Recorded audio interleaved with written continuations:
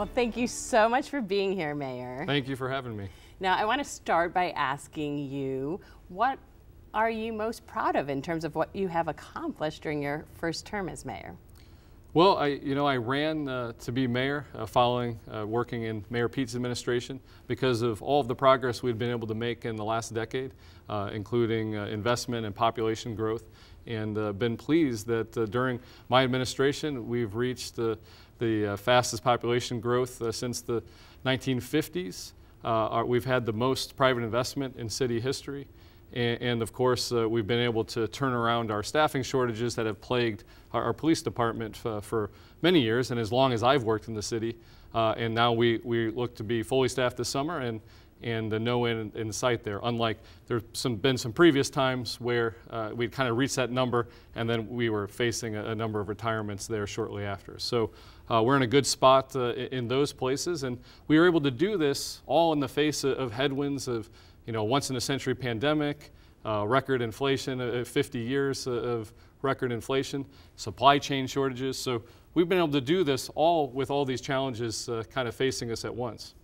Now, as you talk about that population growth, to what factors do you attribute it? Well, I mean, there are a lot of pieces to this. Uh, we know that uh, in, in, today's economy, it's not uh, people following smokestacks it's uh, employers following people. And so the, the most critical thing is our, our economic development strategy for the last number of years uh, has been focused on making South Bend a place to both uh, retain our residents who grow up here so they don't move uh, out uh, of our area or they don't necessarily have, you know, they don't feel like they have to move out of the area. This is a great community to stay in, uh, but also attract people from the outside and make sure people see South Bend as a, as a destination a place not just to visit, but also to, to set their roots uh, here. So a lot of the pieces that we've been doing, you know, whether it's uh, Mayor Pete Smart Streets to, to revitalize downtown, uh, our historic investments in parks and trails, and, and other pieces. Uh, and, and, this also is in concert with the state's economic development strategy. Uh, placemaking is one piece uh, that we share with the state in terms of priority of how do we move our, our city and our state forward. You mentioned being part of the Buttigieg administration. You're both chief of staff as well as director of community investment. How is it different being mayor compared to being a member of the mayor's staff or team? Well, you know, uh, I, I, enjoyed, the, in some ways, the anonymity uh, of being a, a, staff person uh, in the administration, so uh, I wasn't as recognized on the street as I am now. Uh, but uh, I've enjoyed uh, stepping into the role, but you know, getting the, to get to know the residents more. Uh, you know, people will come up to you and say, Mayor, I have this idea, or Mayor, can you help me uh, with this or that? And so uh, that's certainly a new part of, of, the, the role of, of city government for me. and also just, you know, at one point you can make a recommendation to the elected official. I'd worked for Mayor Pete, I'd worked for Senator Cantwell of Washington State. Uh, but ultimately, they were, the, they were the elected official and they had to make the decision. And so uh, it is uh, you know, a little bit different where you realize you're making the decision, you're not just recommending or, or uh, you know, providing a, a path. Uh, you're, you're the one actually uh, you know, signing the document, making the decision, making the call. And uh, you know, if usually the decisions that make it up to the mayor's office, even as chief of staff, the easy ones don't come up. Uh, the easy ones get handled lower down in the, in the uh, administration. And so uh, there's always some trade-off uh, that's coming in the decisions that, that you make. And you have to make it and, and uh, move forward. So would it be fair to describe you as an introvert and a policy wonk who was committed enough to the city to be willing to step into this role and make those hard decisions? Well, pe people find this hard to believe, uh, you know, on personality uh, tests. I'm actually an extrovert. I'm just a quiet extrovert. Quiet uh, and, and, I do listen uh, quite a bit. So I enjoy being around people uh, and enjoy, uh, you know, going to events and things. and so that part actually helps me in this role, being a kind of a, a, secret extrovert in that way, because I am quieter th than many but I do enjoy being around people. So that's helpful because this job really is about uh, being around people and, and talking to people. All right, draw energy from that. Now, if you had to pick one, and I know this is difficult, what would you say is the most important issue facing the city of South Bend at this particular moment? Well, we know that uh, you know public safety has been a top priority of mine since day one, and it is on, on the minds of, of our residents. Uh, we've seen uh, not just here, but but across the country, uh, we've seen an uptick uh, of violent crime uh, over the past number of years. fortunately, here since 2019, our, our, Part One offenses last year were down by 11 percent uh, from when we say part one offenses, what does that mean? Those are the most serious ones. So you know, you think of shoot, you know, you think of shootings, aggravated assaults, uh, you know, robberies, just the serious crimes as opposed to petty. Part two uh, are, are more of the the petty crimes. Like petty theft. Yeah, yeah. And so, so you see some progress.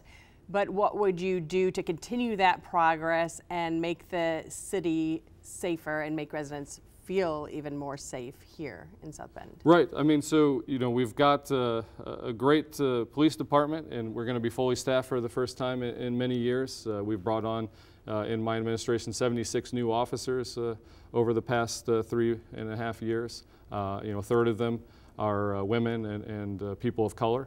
And so we're proud that we're going to have the team and the police department that is no longer just trying to keep the lights on and running from call to call. We're going to be able to do some of the more uh, proactive things, and we've heard uh, things like traffic uh, being an issue, and, and so uh, we haven't been able to, people have noticed, uh, we haven't been able to, to do much traffic enforcement uh, while we were short-staffed. Uh, but now we'll have some capacity to make sure that you know this isn't looking to to bring uh, you know a ticketing system, but it is to make sure that uh, drivers know they can't just drive recklessly across our city and and expect uh, not to face some consequences. So things like that, uh, you know, expand our strategic focus unit and, and other pieces. So we've got our department uh, that that's going to be in in the best shape it's been in in a long time. But then we've also working to bring the community on board. And so, you know, no matter how many officers we have, they can't be everywhere 24 hours a day, seven days a week. And so that's where, where the community really comes in, make sure that we're partnering to solve our big issues uh, in the community. And so that's another piece we're going to be able to do more of, uh, get the community resource officers engaged and, and working with neighbors to, to bring uh, our community together and, and, make this so that every neighborhood is, is safe in South Bend. Uh, there are other pieces uh, that down, you know, we've had the group violence intervention uh, program. We're continuing that, and, and, that's in a good spot. Uh, so it's really going to take all these pieces coming together to get us to where we want to be. And then long term, we need long term solutions too. We know, uh, you know, a lot of the crime is happening in certain areas of the city that are also experiencing uh, economic struggles. And so figuring out how to build those opportunities and extend those opportunities across the entire community will get us to where we want to go in the long term.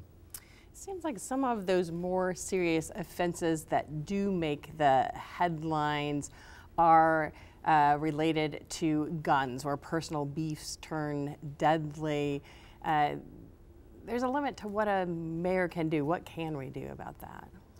Well, like I said, uh, there are there is a limit. Uh, you know, we were disappointed uh, last year uh, when the state legislature uh, got rid of, you know, instituted a, a permitless carry system. Um, that was something our law enforcement uh, community spoke out against, removing that, because that was one way to help keep guns out of the wrong hands. Those who shouldn't be having guns uh, would uh, it, it, was a system in which they could use and make sure that uh, you know they were keeping our community safe.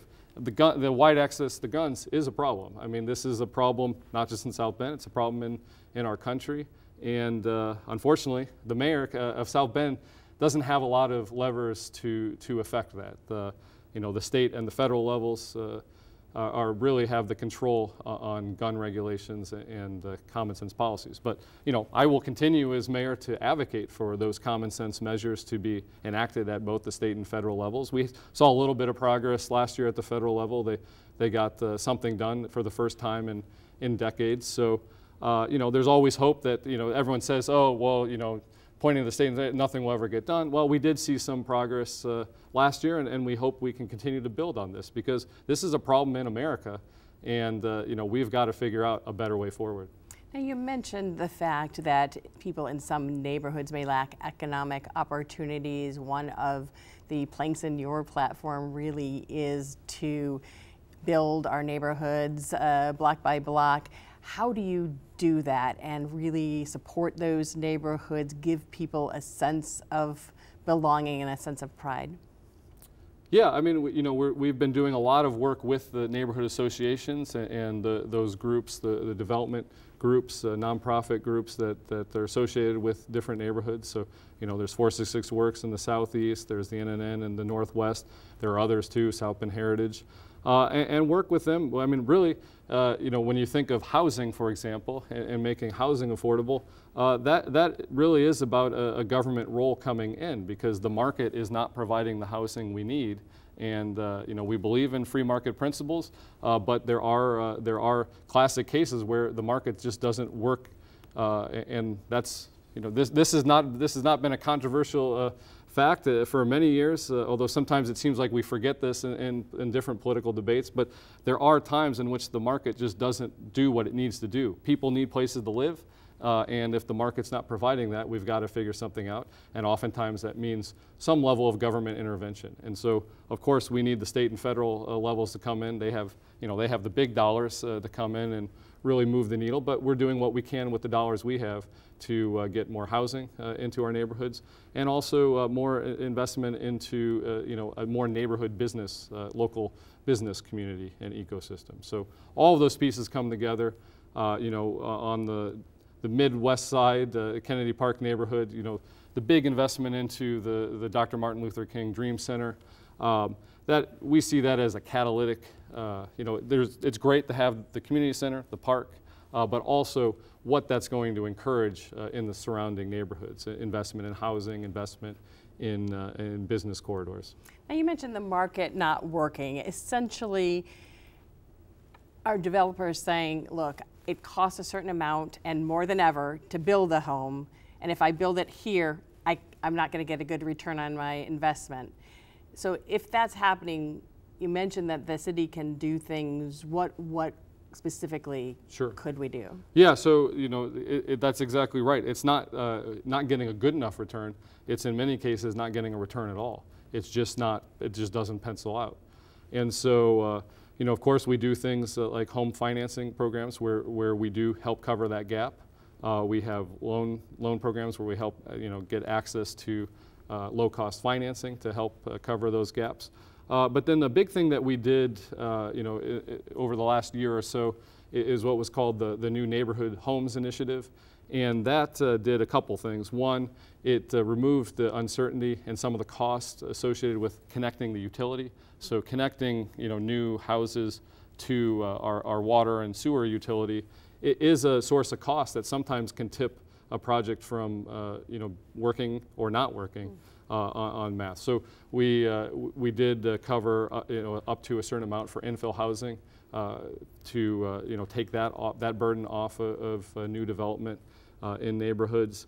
Uh, as well as we, we brought forth uh, what were called pre-approved plans. This is another part where uh, that can generate a cost that could tip a project over the top. So having plans, you know, that are meet the city's codes, all of those things, then uh, the, the developers don't have to necessarily go out and pay an architect uh, for this house. They can adapt these plans and, and build uh, on, on, lots in our neighborhoods. And so we're doing everything we can to, to take, squeeze all the costs we can out of the equation. Uh, and uh, then, but nevertheless, the, oftentimes there still needs to be some level of either financing help or, or some level of subsidy. Now, another thing, of course, that attracts people to a city are good public schools. This is something that the mayor actually does not control in the city of South Bend, but what is it that the mayor can do to be part of this? Yeah, I mean that this is uh, something we you know we need to work with our schools because our, our schools are so critical to to our future um, and the future of our neighborhoods. So we we've heard strong neighborhoods, strong schools, they go hand in hand. So just because they're separate entities, we've got to find ways to work together. Um, and, and, the way we've, uh, we've been working toward that goal is uh, seeing where we fit in, where does the city fit in, and uh, you know, we, we have pushed uh, you know, pre-K access, making sure students are, are ready uh, to learn in, in uh, K through 12 on day one. you know, they're not, some students are not coming in at a disadvantage, so getting access to, to pre-K is critical and we've been able to uh, increase uh, about 500 seats, uh, pre-K seats, over you know over the past few years with partners, both schools and the United Way. Uh, then also looking to what are opportunities outside of school, you know, after school programming uh, with our parks and, and, recreation team, summer programming when they're out of school, uh, and then looking toward as they're, they're getting ready to enter into a career, making sure they, they have the connections and the, the ability to, to move into our workforce. And so th that's another piece where, where we're we, workforce development, working with our schools on, on uh, technical education as well. Those are pieces where, where we uh, fit in. Uh, but uh, th there's uh, even more than that is figuring out, uh, you know, they've, they've got a tough time, the schools. you know, the, the, the state legislature values choice, which is, you know, that's a philosophical choice that our legislature is making. Um, and, you know, between vouchers and, and a dollar charter school, uh, we're, we're a city that has too many school buildings uh, for the population. It was built for uh, when we were a, a, larger population, and back then uh, uh, families were having more kids. And so now we're, we have, you know, we're growing again. We'll, you know, we'll get back up there, but we still have a, an issue of, uh, you know, families aren't having as many kids as they used to. And so we don't have the number, we don't have the need for the number of square footage of school space that we did uh, previously. And so what's, what's, what's, what's difficult is that's, that's an obvious. But as the schools uh, close spaces, uh, the state has allowed charters to come in and, and buy them for a dollar. Now, they'll argue, well, taxpayers paid for this, so that should be able to be a school. But on some level, we've got to come up with a rational uh, approach to this where we have the right number of schools for our city and uh, we make sure that uh, our schools are able to succeed. So that's, uh, you know, that takes partnerships at the state level. Uh, this is, uh, in, and that's, those are conversations we need to keep having and make sure that we're not pulling the rug out from under cities like South Bend as soon as a school closes because there aren't enough children for the school and then a new charter opens in the same building perpetuating the same we haven't issue. reduced the, yeah we haven't reduced the the, the square footage of, of schools uh, but you know this, we, we got to work with our school system to make sure that we're competing for the students there is a, there is a competition here and uh, there's no reason why uh, we can't we can't win that so if there was one last thing you would want voters to know before they make their decision, what would it be? Or, or is something you'd like to them to think about as they head to the polls? It, we're at a place where South Bend is a place that people want to be, where people are moving to. And uh, we have the opportunity to be, you know, the Austin of the Midwest or the Portland of the Midwest or the, those mid-sized towns uh, that uh, really uh, have have that, uh, you know, that kind of buzz, that, that kind of uh, feel. So it's very exciting where we are right now, and we just got to keep all of the things eh, that we've been working toward, and not just me, not just Mayor Pete, the mayor since Studebaker closed have been doing their part to get to this place. It's a privilege and an honor to be mayor at a time when we have momentum. These uh, investments are, are uh, bearing fruit and uh, you know the sky's the limit for the future and, and, I look forward to see what's next but we do have to come together as a community to make that happen. All right well thank you that's all the time we have but thank you so much for being here. Thank you.